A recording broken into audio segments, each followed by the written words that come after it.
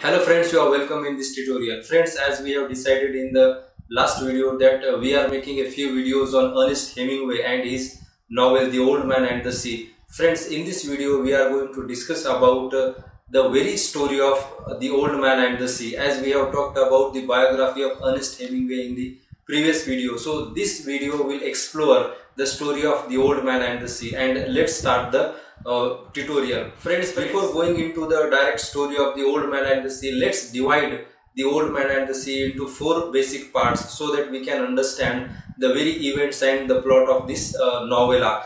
Friends, this novel can be divided into four parts. The very first part uh, we can consider as the introductory part or the initial pages. Uh, the second part will be adventures with Marlin. The third part will be Santiago's battle with sharks and the last part will be uh, the returning home or the returning journey of Santiago or coming to the home. So uh, through this we will understand the very story of the old man and the sea. Friends now let's start the story. Friends uh, at the initial pages we understand that Hemingway has introduced uh, the very basic or two major characters of this novel uh, Santiago an old man who is a fisherman and Manolin who is a boy probably in his uh, puberty or in his adolescence. So friends here when we uh, start reading this novel we understand that there is a fisherman described at the very first line of the novel. And the very fisherman is an old man who goes to fish but uh, from last 84 days uh, he did not find any fish. And so that his fellow fisherman uh, teases him. They uh, make fun of his uh, work. And uh, so here we find Santiago gets frustrated. The old man gets frustrated. And he wanted to uh, catch some big fish. And it is a very desire of that fisherman. And he wanted to prove his ability though he is an old man. So the, in this way the story starts. And in this initial stages we find that uh, uh, the description of Santiago the old man Manolin the boy uh, and the living place of Santiago who lives in a shack, uh, a hut and uh, then the relationship between that boy and Santiago. We find that boy is an apprentice to Santiago or he works with Santiago, he works as an assistant to Santiago. Uh, his parents uh, has sent him to Santiago uh, to learn the fishing, the very art of fishing. But from last 84 days, Santiago is unable to catch any fish and so that uh, the uh, parents of that boy Manolin uh, did not permit him to go on the next expedition. So this is the initial um, some pages of the novel where we reveal many things the relationship between Santiago and the boy and the very it is the initial part of the novel. Uh, again in this part we have Santiago's uh, discussion on the African lion. Then he talks about baseball, and the boy also supports to his speaking or talking, and boy also uh, takes pa part in that uh, talking or the gossip, as we can say that, and it uh, we reveal that uh, how Santiago is fond of baseball, and uh, there he has a favorite player called DiMaggio, and both of them talk about this DiMaggio. So this is the first part the second part or the next part is adventures with Marlin. In this part we have the very core or the basic of this novel or the very uh, main part of the novel adventures of uh, Santiago with the Marlin because there is a thing in the mind of uh, Santiago or that old fisherman he wanted to catch a big fish and uh, out of this desire he sails into the uh, ocean or into the sea and on the 85th day the boy gives him best wishes and uh, Santiago or the old man sails into the deep sea. He goes far in the sea and uh, because he wanted to prove himself before the other fishermen he wanted to catch a very big fish and he goes into the deep of the sea very far from his uh, native place and then friends we find in this journey 85th day we have in the very early morning he uh, starts his journey. And when he uh, reaches at that point where he wanted to fish uh, this point is very far from his native place. There he find uh, different types of birds different types of fishes and he guesses because he is a very skilled fisherman and he knew the very art of fishing. And when he reached to that particular point he thinks that now he is ready to fish. And he has taken some baits uh, with him as a food for the uh, big fishes or for the fishes he wanted to uh, fish. Then he places his baits uh, with a particular distance and this shows his skilled uh, nature or his uh, skilled art uh, in fishing. That he places first bait at uh, 40 fathoms then 70 fathoms then he places next bait at 100 fathom and the last or the fourth bait he places at uh, 125 fathoms so this is a very uh, skilled kind of work he did there. And he very assure about fishing and very assure about catching the uh, fish now on this day. And after two hours he finds that uh, one of the lines is shaking and he finds that uh, a fish uh, is uh, caught into that bait and uh, he finds that there is an albacore of 10 pounds. Again he uses that alba albacore as the bait. And after some time again there is a shark in the uh, deep sea and he finds that some uh, fish has been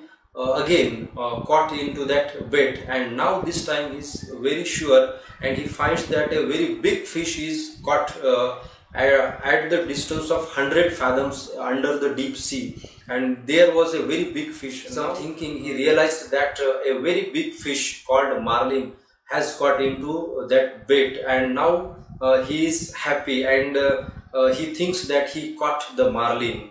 But friends his uh, struggle start with catching with this marlin because it was a very big fish. And uh, that fish moves around and he tows uh, his skiff or the small boat in the north direction or the opposite direction of the uh, very Santiago's place. And now he as a skilled fisherman he waits um, for many hours and he waits for uh, that marlin. Uh, and after waiting he thinks that marlin will get tired and then he will uh, pull that marlin uh, at the very surface of the sea. And then uh, the very struggle starts that marlin gets towing this very skiff or the boat into the sea in the north direction and he waits. After a long wait on the next day, he finds that Marlin did not tire, Marlin did not get fatigue and still she is moving and she is towing the uh, very uh, boat or the very skiff. After some times on the next day, the marlin uh, gets circling or the marlin starts circling and the very meaning of this circling is that now Santiago or the old man is able to pull the marlin. Now he can steadily uh, uh, pull uh, that uh, bait or that line of in which marlin is caught and he starts pulling the uh, very line. But again he finds their difficulty in pulling that line because marlin is a very powerful fish and he just moves around the boat, moves around the uh, very sea and uh, so that uh, there is a difficulty.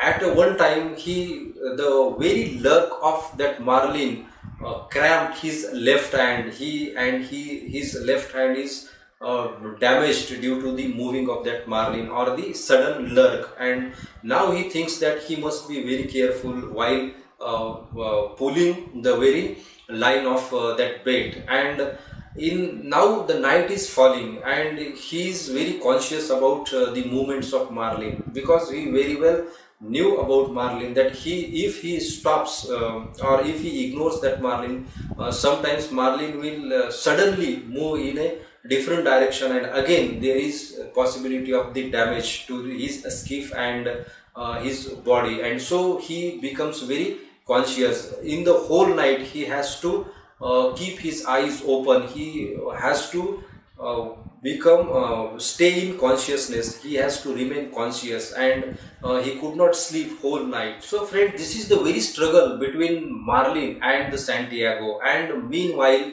uh, he gets tired. He uh, now feeling fatigue. And he wanted anyhow to pull that very marlin. But it is not possible at that moment. On the next day when he finds that the movements of marlin is now uh, reduced up to some extent and uh, she is making circling she then steadily pulls the rope and the marlin uh, comes to the surface and he uh, finds the very first view of the marlin and he gets very surprised uh, with the big size and powerfulness of that marlin. So he very well knew the strength of that marlin and again he waits for some time. After some time marlin comes close to the very skiff or the boat and now he is ready to uh, pull the marlin and now he is ready to kill the marlin. And he opens his harpoon and thrusts his harpoon into the marlin. And after some time uh, he finds that the motions of marlin got reduced or uh, the marlin became standstill. So this is the uh, in this part his struggle uh, from catching the marlin to killing the marlin is depicted in the second part. Now friends, let's move to the next part and in the next part we find the battle of Santiago with sharks. Now this is the real uh, beginning of uh, the very serious action in the uh, story and we get surprised with this action because now we find that uh, Santiago or the old man had killed the marlin and now he is ready to go back to his native place. But the very smell of uh, the blood of marlin spreads into the sea and sharks get attracted to this blood or the smell of the blood. And the first shark comes to the marlin and the first shark attacks the marlin and it mutilated the marlin. Now the uh, real struggle or the real battle began. He is now able to kill that shark but he lost his harpoon. Now his very weapon harpoon is a weapon used to kill uh, a long fish or used to kill a shark or the whale or uh, some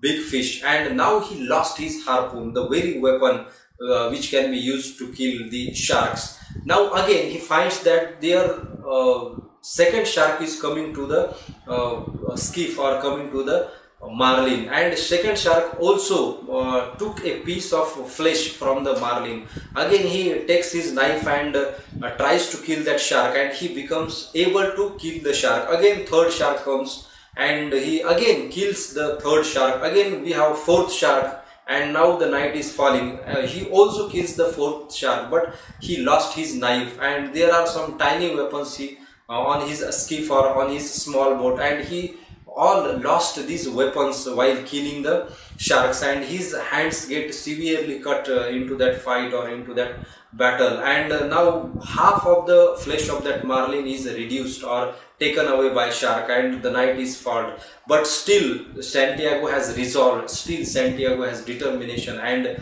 he thinks that he will again fight with the sharks in that uh, dark night. And in the midnight he finds that there is a pack of sharks. There is uh, many sharks coming to the uh, skiff or coming to the boat. And uh, now he got completely relaxed and he realized that he is beaten by the shark. And uh, the shark attacks on that marlin and they takes all the flesh away from that shark mm, from that marlin. And now he is completely beaten by the uh, sharks. And just he um, stands still and moves his uh, skiff into his native place. Now friends, we have only skeleton remained there of the marlin and we find all the uh, very flesh of that marlin is taken away by sharks and now he is moving towards his native place or towards his resting place and on the next day or the fourth day he uh, in the morning he reaches to the uh, very shore and now he is uh, got seriously fatigued he is injured and there is hunger in his stomach and he became lame or weak due to the four days of expedition on the sea. And uh, now when he uh, steps down from his uh, skiff uh, he felt that uh, a sudden um, shock in his body that he is not able to walk. He uh, sit for five times while going to his shack or towards his shack. And at last he comes to his shack and there he finds rest and he got rested there after some time many fishermen gathers around his uh, skiff around his boat and they find that there is a very big skeleton of a marlin and one of them measures that skeleton and uh, it is measured 18 feet from nose to tail. It was a very big fish and uh, people got surprised. The fishermen got surprised and now they think that uh, the real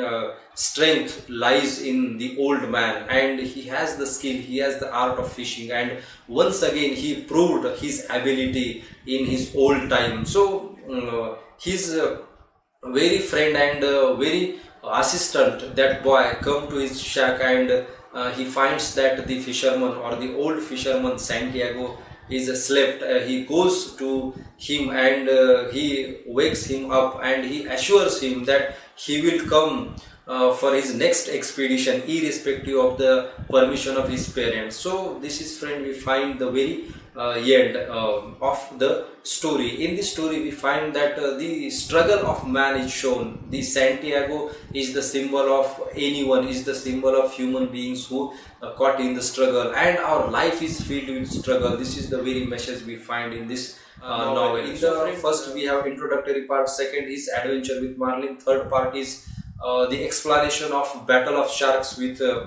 santiago. And then we have uh, returning home or uh, when he comes to the shore. So this is the last or the ending part of the novel. So friend this is all about uh, the very story of the old man and the sea. If you like this video please uh, share this video among your friends. Subscribe to literature simply and also press the bell notification icon for updates